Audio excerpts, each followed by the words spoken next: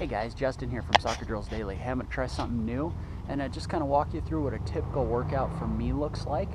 Um, I usually script my stuff and all that, but this is totally unscripted and we'll see how it turns out. So uh, remember to like this video and uh, leave a comment below. Let me know how you like this format. Uh, so thanks a lot and let's get to the workout. Thanks.